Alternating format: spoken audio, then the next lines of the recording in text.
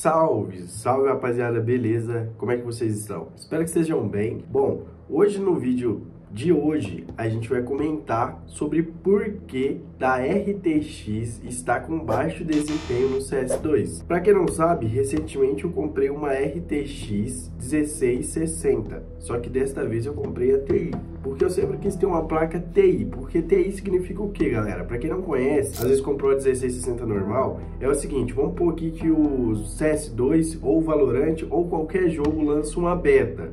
Ok, você lançou a beta, então você vai jogar a beta tranquilo. Depois, a TI vem como se fosse a versão oficial, testada, otimizada e muitas outras coisas, tá? Então, basicamente, é isso. Eu comprei ela e, mano, jogando no CS2, eu não gostei nada do desempenho, porque eu falei, cara, olha, eu tô com uma placa, tipo, outro nível, monstruosa. Por que que não tá rodando nas quantidades de FPS que eu quero? Então, eu decidi baixar o Afterburner. Estou aqui dentro do meu jogo para explicar para vocês por que que basicamente eu não estou conseguindo o desempenho que eu quero. Lá em cima na tela vocês vão estar vendo o GPU, tá bom? Vão vendo a memória, certo? Vão vendo a CPU e a CPU e a 2, tá bom? E a RAM que está utilizando neste momento. Como vocês podem ver, a primeiro passo tem muita gente hoje que está jogando CS2 ou outros jogos, mano, com 8 GB de RAM. Então aqui, como vocês podem ver, base, clock base aqui já está utilizando 11 11 GB e 500. Então, tipo, é muita coisa, tá bom? Então, se você está querendo jogar um jogo hoje, pelo menos na atualidade de hoje, o recomendável, galera, é que vocês tenham pelo menos 16 GB de RAM, tá entendendo? Então, a dele eu não tenho, é muito caro para comprar, que não sei o que lá, não é, mano. A memória RAM é barata, tá, rapaziada? E quando você for comprar, você tem que pesquisar muito antes de qualquer coisa, porque você tem que pesquisar basicamente o quanto de clock que sua placa aceita, etc, e por aí vai, tá bom? Mas você tem que pesquisar e comprar a RAM adequada, tá bom? É, eu tô muito ruim de gripe e essa é a realidade, mas mesmo assim estou gravando. Será que merece o seu like e sua inscrição? Se inscreve, me ajuda a chegar aos 100 mil, rapaziada. Bom, é o seguinte, clã, como eu já falei pra vocês, o ideal é que vocês tenham 16 GB de RAM, certo? E é o seguinte, uma coisa leva a outra. Como assim, Dani? Aqui minha placa de vídeo, rapaziada, tá sendo utilizada 40, 30%. Você tá me entendendo? 30%, 40% da placa de vídeo, tá ligado? Então, tipo, eu já sabia muito no desde o CSGO que basicamente uh, o, o, processador no CS2 sempre foi uma prioridade. O, o, jogo roda mais pelo processador do que pela placa de vídeo. E tudo bem quanto a isso. O problema todo é que muita gente se decepciona porque, por exemplo, é uma placa do, da atualidade, etc, tá?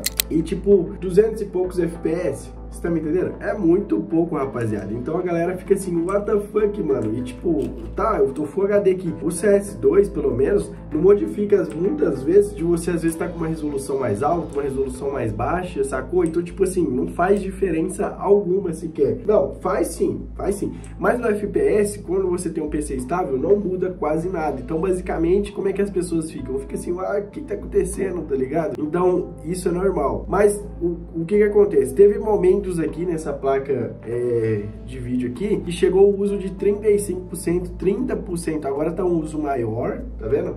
Inclusive ela tá até tá entregando mais FPS porque ela tá com uso maior, mas também até mesmo o processador está sendo utilizado pouco se você for bater e valer. Porque não tá, não tá tendo um estresse, digamos, tá? Não tá tendo um estresse de, de, de, FPS. Mas é a mesma coisa, rapaziada. O que, que a gente tem que fazer para melhorar isso? Qual que é a otimização necessária para a gente melhorar aqui e tá tendo melhor desempenho. Vamos lá então. Vocês me apoiaram uma vez e duas pessoas aqui do canal ganharam facas. Só que desta vez eu pedi ao K-Drop skins para mudanças de vida. São dois ganhadores diferentes. Um ganha uma baioneta Boreal Forest e o outro ganha uma baioneta Forest DT Pet. Cada faca custa em média mais de R$ 1.500. Deposite usando o cupom DNXSGO, mas tem um macete. Quanto mais depositar, mais chances tem de ganhar. O sorteio é realizado dentro do Keydrop, 100% seguro e eficiente. Tá esperando o que para participar? Só clicar no primeiro link da descrição e boa sorte! A primeira coisa, galera, é que você modifique no seu processador. Tipo assim, tem umas opções, tá bom? No MS Config do PC que você pode utilizar e tá aumentando basicamente o clock dele, fazendo overclock que seja, tá bom? Para que ele trabalhe com mais precisão. Inclusive tem alguns comandos, eu não sei se é mais funcional no CS2, mas tinha alguns comandos que você colocava dentro do CS2 para que o seu processador pudesse utilizar ao máximo desempenho. Eu vou fazer um vídeo basicamente completo explicando para vocês algumas dicas e até mesmo dando uma otimização nessa parte, tipo forçando um pouco as, GPUs, né, as CPUs, que é basicamente as configurações do processador para melhorar o processador de vocês dentro do jogo. Isso vai te dar um boost de FPS, tá bom? Mas o ideal também, galera, é o seguinte: a minha configuração atual hoje, ela não é equivalente a tanto a placa de vídeo. Existe muito isso, tá? Muita gente que não sabe, mas existe muitas vezes isso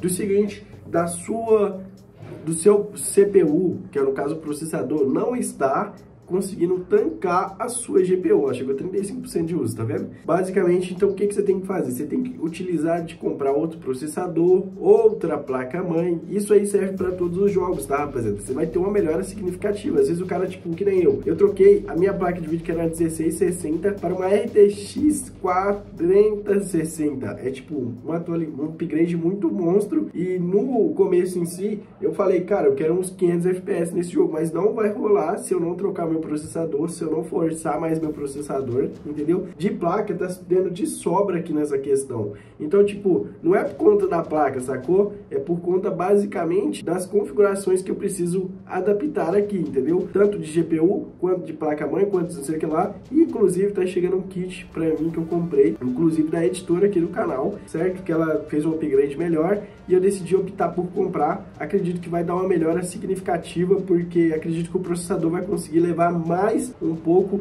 do que esse que eu já tenho, que é o AMD, que é o AMD Ryzen 5, tá bom? 5500. Lembrando, muita gente tem o processador Ryzen 5500G ou 4500G, sei lá, não sei, que tem a tecla G no final. Se liguem nisso, rapaziada, porque a tecla G, ela significa gráficos integrados, entendeu? Gráficos integrados, alguma coisa assim. Então, ela pode estar assim, te travando o GPU em todos os jogos, a não ser que você não, tipo, se, às vezes o cara tem o gráficos integrados e era o que acontecia comigo. E tinha uma placa de vídeo, isso dava muito conflito, entendeu, rapaziada? Porque às vezes não utilizava a sua placa de vídeo top e às vezes utilizava a placa de vídeo integrada e dava baixo desempenho, entendeu? Então é isso que eu tô te falando, mano. Se você for trocar de processador ou placa de vídeo, olha muito antes de fazer qualquer coisa, tá bom, rapaziada? É isso aí tá bom? Espero que eu tenha passado algumas dicas importantes para vocês sobre a otimização. Como eu já falei para vocês, acompanha o canal, se inscreve aqui. Já passei para vocês as melhores dicas de otimização, que é o seguinte, você tem que comprar uma memória RAM melhor, entendeu? Ou às vezes fazer um overclock, tá bom? Porque eu vou fazer isso no próximo vídeo para vocês. Se vocês quiserem acompanhar e quiserem me ajudar no meu sonho dos 100 mil, se inscreve aí, tá bom? Valeu, até a próxima.